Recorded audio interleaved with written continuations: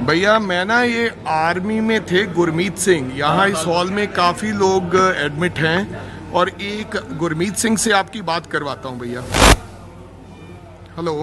Farmer है farmer. ये farmer है एक्स आर्मी मैन है फार्मर है। इसके इससे बात इनसे बात करवाता हूँ भैया। हॉस्पिटल में हूँ। बुलेट इंजरी ये एक मिनट करे आप। सत श्रीकाल जी। बढ़िया सर। कहाँ चोट लगी आपको? सर मेरे एक आँख में है और दोनों हाथों पे छर्रे लगे हुए हैं गोलियों के सर।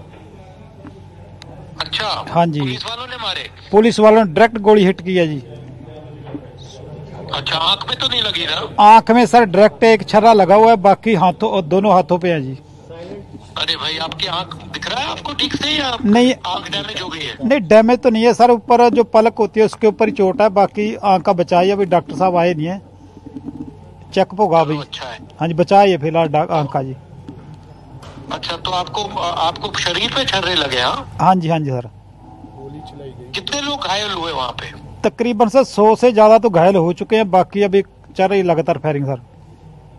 और और सीरियस कितने लोग हैं? सीरियस तो सर ज़्यादा नहीं है तकरीबन तीन चार आदमी को ज़्यादा चोट है।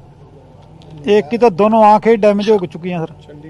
हाँ चंडीगढ़ थर्टी थर्टी के करीब। अच्छा। सर मैं सतारह साल आर्मी से सर्विस करके रिटायर हूँ मेरे को मालूम है भी एक भीड़ को या जम्मू कश्मीर में कहीं है उसको भगाने के लिए डायरेक्ट हिट गोली कहाँ पे की जाती है?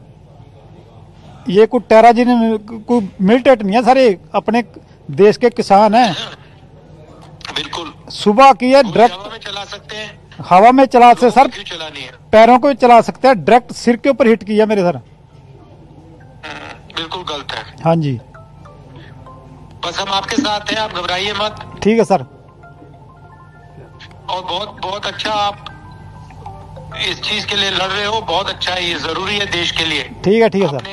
देश के लिए काम किया पहले किया और अब भी कर रहे हो। पक्का पक्का सर। शाबाश। Okay sir. Thank you sir.